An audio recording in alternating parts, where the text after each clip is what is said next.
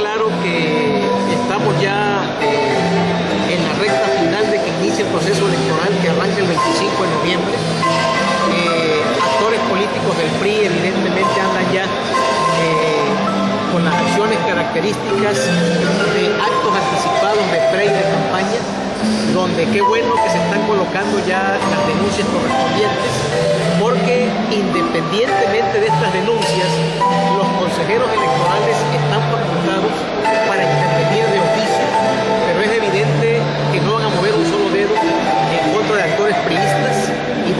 bueno que me entero que ya Acción Nacional toma las primeras medidas para poner las denuncias ante el órgano competente, pero también vale la pena decir que cualquier ciudadano que ya detecte este tipo de irregularidad está facultado para presentar las denuncias correspondientes ante el Consejo del Instituto Electoral. De tal manera que ya el preludio de lo que se viene y esto no es reciente. Todos ustedes saben que son a través de los medios de comunicación, que anda mucha gente del PRI ya eh, caminando. Eh, ahí están las denuncias también de, de Cayola y de Bulnes.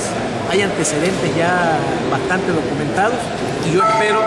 que los consejeros electorales estén a la altura de la situación. En este caso particular de José Carlos Arañas habla de que a través de la asociación José Carlos Becerra eh, se estaría haciendo esta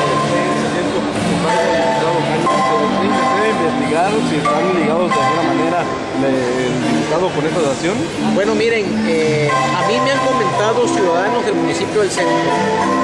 que llama mucho la atención que en el Transabús, ya en la parte de atrás, va el nombre de la fundación,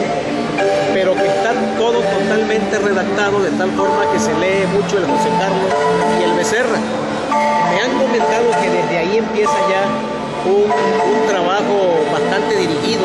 a un objetivo electoral y bueno, si a eso lo pasa, que se coloca la persona a entregar despensas a nombre de la propia fundación, pues evidentemente empiezan a verse eh, los clásicos actos anticipados de campaña o acciones de proselitismo enfocados al lucro electoral y que vale la pena aquí eh, que los partidos políticos, incluido el PRD,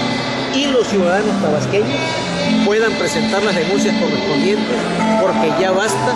que se sigan usando los recursos públicos para promover figuras personales.